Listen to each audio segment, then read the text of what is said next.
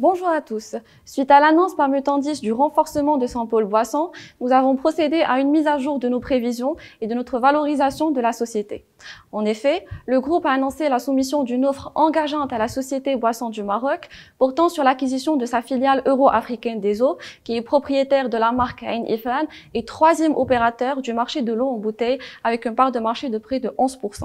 Cette transaction devrait être réalisée d'ici le 30 juin 2023. Ce projet de croissance externe devrait permettre à Mutandis à la fois de consolider son business model à travers l'intégration de l'activité eau et de booster les ventes de la marque de jus Marrakech grâce à des synergies opérationnelles entre les deux gammes dans le sens où elle devrait profiter euh, d'un circuit de distribution commun intégrant les épiceries, les opérateurs de grande distribution et les CHR.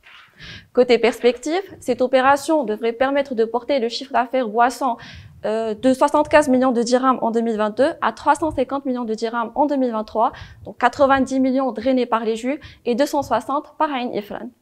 En termes de capacité bénéficiaire, le management table sur une contribution de près de 30 millions au bénéfice annuel du groupe.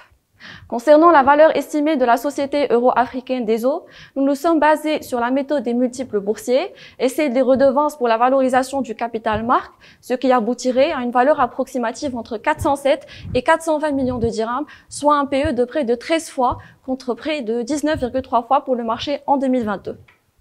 Dans ce sillage, et compte tenu également d'une bonne orientation de l'ensemble des activités de Mutandis et de la contribution de Season Brand sur une année pleine, avec un chiffre d'affaires prévisionnel de près de 570 millions de dirhams, nous avons revu à la hausse nos prévisions.